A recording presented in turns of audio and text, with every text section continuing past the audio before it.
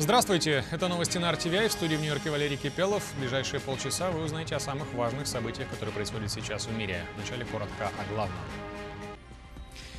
Ничего на свете лучше нету. Так госсекретарь США Джон Керри характеризовал сделку Запада с Ираном, призвав Конгресс одобрить соглашение. Законодатели пока против. Очередной фейк в российских СМИ. Сепаратистов из самопровозглашенной Луганской республики уличили в информационной утке.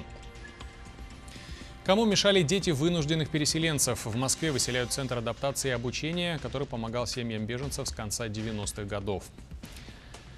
И Das ist fantastisch. Образ одной из самых влиятельных женщин мира, канцлера ФРГ Ангелы Меркель, использовали в рекламе лесбийского журнала. Соглашение с Ираном выгодно как США, так и их партнерам, заявил госсекретарь Джон Керри на слушаниях в Комитете по иностранным делам Американского Сената. По мнению главы внешнеполитического ведомства США, договору по ядерной программе Ирана нет альтернативы. Ликвидировать иранскую ядерную программу военным путем не удастся, указал Керри. Тем не менее, госсекретарь США уверен, что это, цитата, «хорошая сделка, о которой мы добивались на переговорах с Исламской Республикой». По словам э, э, главного американского дипломата, рассчитывать сейчас на что-то большее – это просто фантазия. В заключение своего выступления Джон Керри призвал американских законодателей поддержать договоренность с Ираном. После первого дня слушаний на Капитолии ясно одно. Мнение законодателей в отношении сделки с Ираном расходится строго по партийной линии. Демократы ее поддерживают, республиканцы единогласно против и обещают заблокировать. Иран должен будет кардинально демонтировать технологии, разработанные для создания ядерного оружия, и избавиться от запасов топлива, которые могут быть использованы в военных целях. Я верю, что это соглашение в лучших интересах безопасности Соединенных Штатов и безопасности Ближнего Востока.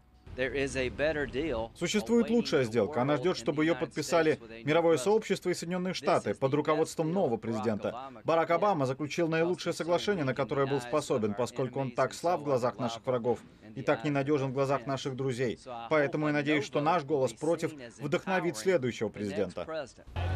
Против сделки с Ираном высказались и тысячи жителей Нью-Йорка, пришедшие накануне вечером на демонстрацию в Манхэттене. Массовая акция протеста по поводу подписанного в Вене договора с Тегераном была организована коалицией еврейских организаций США. В числе участников бывшие директора спецслужб, губернаторы нескольких штатов, военнослужащие. Демонстранты призвали американские власти одуматься и отказаться от договора, который, по их мнению, ставит под угрозу безопасность всего мира. Администрация должна одуматься и отменить сделку. Иран нужно остановить. Мы здесь, чтобы призвать власти США одуматься. Мы не доверяем Ирану, ему нельзя доверять. И мы хотим, чтобы наш голос был услышан. Только наивные люди могут полагать, что Тегеран выполнит обещание. Это должны понять в Вашингтоне. Сын кенийского народа, изменивший мир. Это один из заголовков свежих газет в Найроби в преддверии визита президента США. Сын студента из Кении отправляется на родину отца, чтобы повысить уровень безопасности и дать новый импульс экономике этой страны.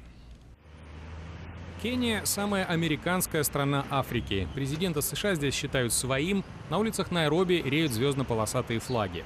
Сегодня Барак Обама впервые в статусе хозяина Белого дома отправится на родину своего отца. Обама бывал здесь и раньше, однако нынешний статус лидера свободного мира придает визиту в одну из беднейших держав планеты особое значение. Основная цель посещения – конференция по вопросам безопасности и борьбы с международным терроризмом. Рядовые граждане также ждут от высокого гостя позитивных перемен. Я приветствую решение приехать к нам не только потому, что эта грядущая конференция важна, но и потому, что это родина его отца. Мы все его ждем и надеемся, что он приедет с подарочками. Подарочки в виде экономической помощи и финансирования социальных, гуманитарных и бизнес-программ американские лидеры привозят в Африку регулярно. Однако противодействие террористам и пиратам, в частности сомалийским, остается абсолютным приоритетом в таком нестабильном регионе, как Восточная Африка. Мы очень тесно работаем над расширением и усилением сотрудничества с американскими властями в борьбе с террором. Я уверен, что в ходе переговоров с президентом США мы в первую очередь будем обсуждать именно эту тему. Ведь такова обоюдно важная задача — освободить от зла не только Кению, но и весь мир. В Вашингтоне Кению считают ключевым союзником Запада в борьбе с экстремистской группировкой Аль-Шабаб, действующей главным образом в Сомали. На совести исламских террористов этой организации 148 жертв бойни в апреле этого года в одном из кенийских университетов, а два года назад, в сентябре 2013-го, боевики Аль-Шабаб устроили теракт в торговом центре Найроби. Тогда погибли 67 человек. Все эти атаки, помимо жертв среди гражданского населения, наносят гигантский вред местной индустрии туризма одной из немногих приносящих стабильный доход сфер экономики Кении. Украину обвинили в аннексии Крыма. По мнению спикера Российской Госдумы Сергея Нарышкина, после распада СССР в 1991 году Киев фактически присвоил себе полуостров, тогда как, цитата, «большинство жителей Крыма мечтали вновь оказаться у себя на исторической родине». Конец цитаты. Эти слова прозвучали на встрече с делегацией депутатов из Франции, которые сегодня демонстративно отправились в Симферополь, несмотря на недовольство официального Парижа и Киева.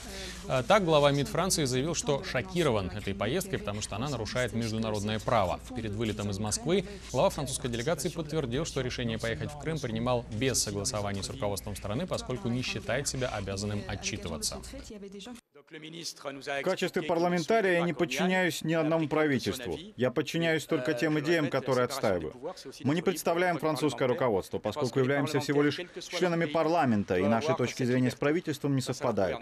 Мы не действуем от имени Франции, тем более, что часть из нас едет, чтобы просто разобраться в ситуации и увидеть все своими глазами. Напомню, в составе французской делегации 10 депутатов. В Крыму они собираются провести несколько дней, посетить Ялту, Симферополь, Севастополь, а также встретиться с руководством полуострова.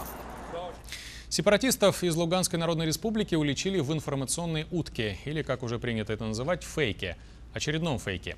В видеоматериале информагентства ЛНР вооруженные люди, расчищая завалы Луганского аэропорта, обнаруживают склад с оружием и продовольствием якобы американского производства.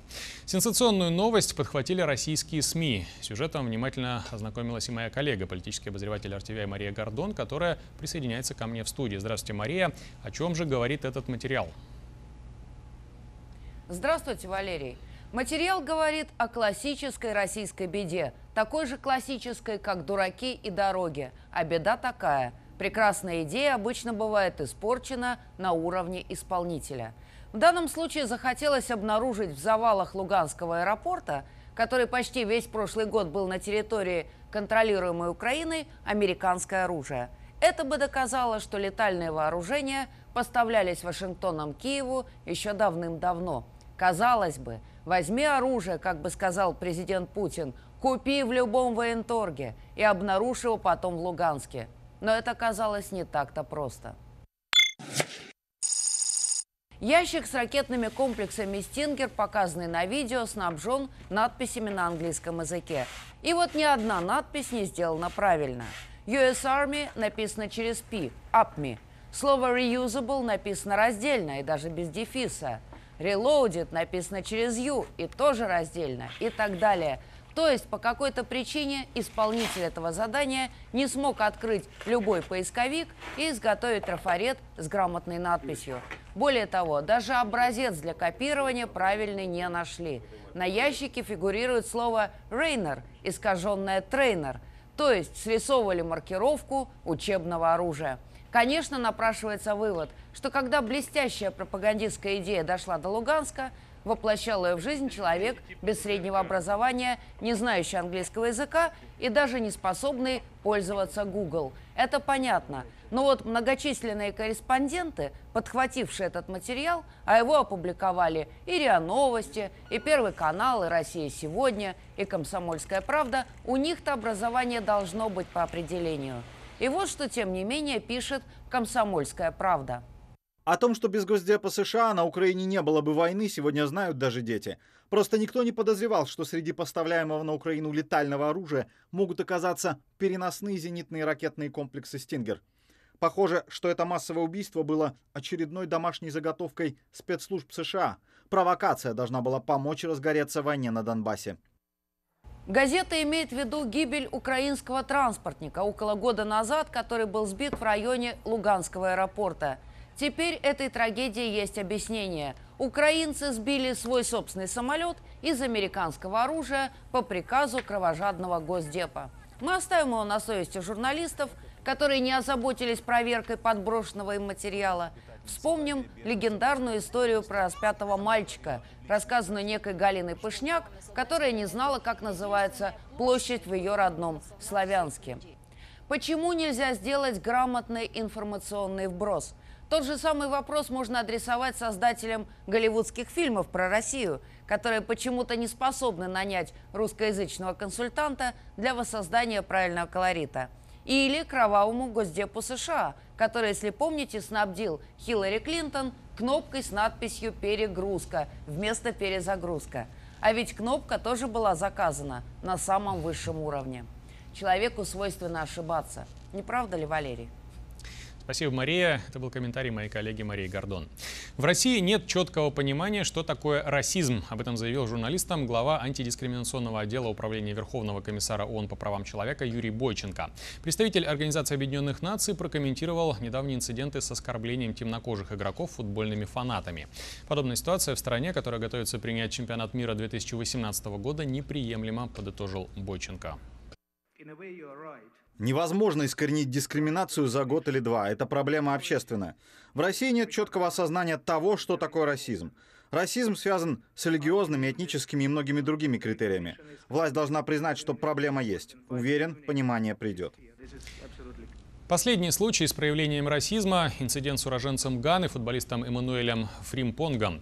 Полузащитник Уфы был удален с поля за неприличный жест в адрес трибун. После встречи игрок заявил журналистам, что его оскорбили, назвав обезьяной. Контрольно-дисциплинарный комитет Российского футбольного союза наказал Фримпонга двухматчевой дисквалификацией, заявив, что факт оскорблений со стороны фанатов установлен не был.